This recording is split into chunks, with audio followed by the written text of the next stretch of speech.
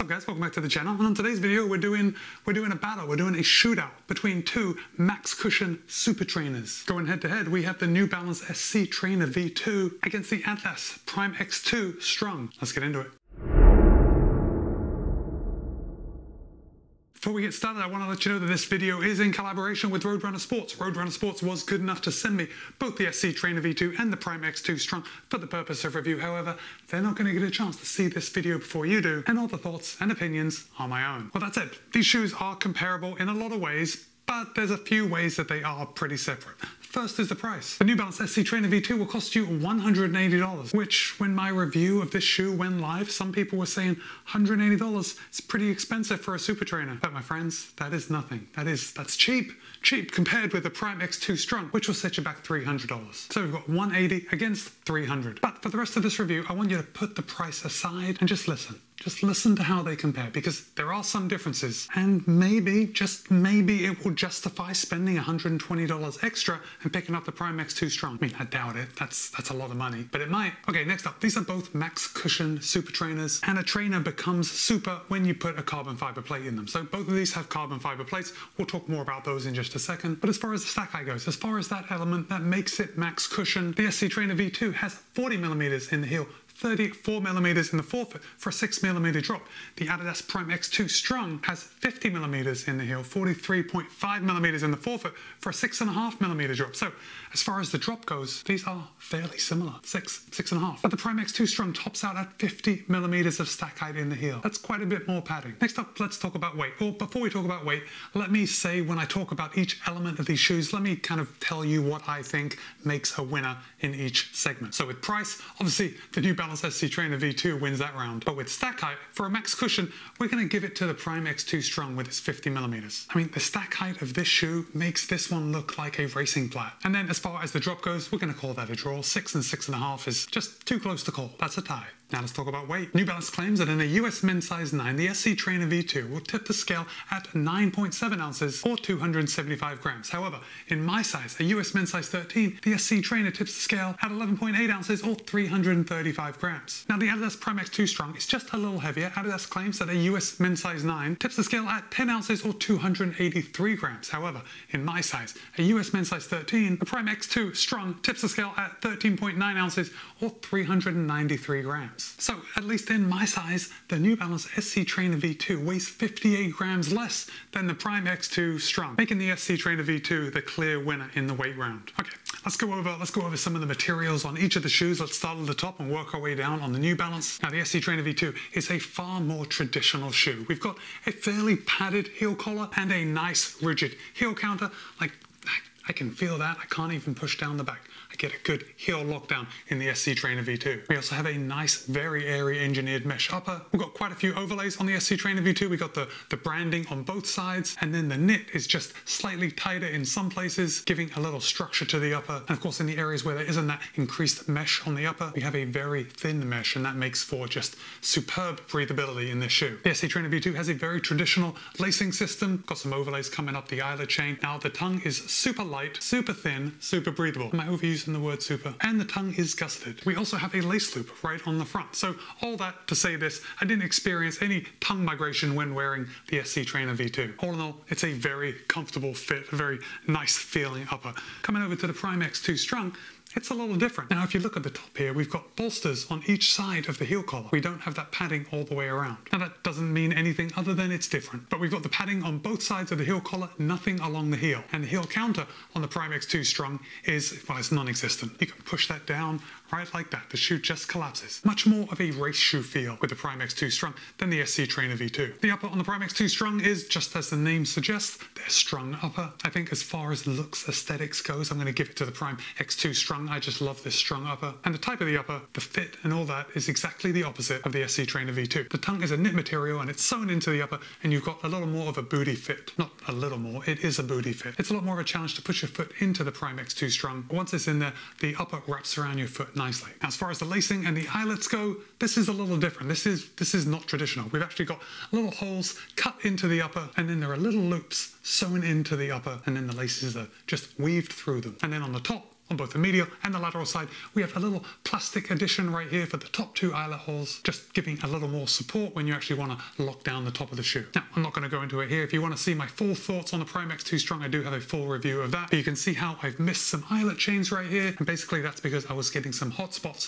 from the eyelets when the laces were locked down. I was able to eliminate those hot spots just by missing that little eyelet. That's the reason I haven't laced the shoe completely. If we come down to the midsole in the SC Trainer V2, we're using Fuel Cell. Now, Fuel Cell is probably one of the most comfortable midsole foams that I have ever run in. I am a fan of nice, soft, plush cushioning, and the fuel cell gives it to me. Now, we've actually got two layers of fuel cell because sandwiched in between those fuel cell layers are New Balance's carbon fiber plate. They are calling it their Energy Arc, but the Energy Arc is kind of a blend of technologies. It's when they combine their carbon fiber plate technology with these midsole voids that just promotes propulsion. And then coming down to the outsole rubber, we can see we've got, we've got plenty of outsole rubber right where it matters. Got a little bit of rubber here in the middle, but I'm not actually sure that that part actually touches the ground at all. In fact, looking at it, I'm not seeing anywhere. Ah, maybe it does. Maybe that fuel cell foam compresses enough where that little, little purple bit on my colorway touches the ground. But either way, we've got a good amount of outsole rubber. But look at this, look here on the lateral outside edge.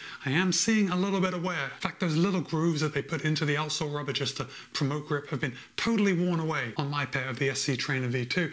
And I do have a little bit of wear on the midsole foam. So I don't know. I thought that was a little bit disappointing that they're wearing down that much already. But let's move on over to the Prime X2 Strung and let's talk about this midsole. Now, this is where the shoes kind of differ because Adidas is using their top of the line race day foam in the Prime X2 Strung. In fact, we have three layers of Light Strike Pro in the Prime X2 Strung. Well, I think technically we've got two layers, but even though this middle layer here is Light Strike Pro, it's a much softer formulation, and that's Adidas's Energy Core. Now, have you ever thought about how a carbon fiber plate kind of makes you faster or makes you feel faster sometimes?